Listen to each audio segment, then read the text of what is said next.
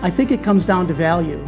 You've got a firm at Brighton Securities that really gets it. Everybody that's at the firm understands the importance of the relationship with the client. At Brighton Securities, it starts and it ends with the client.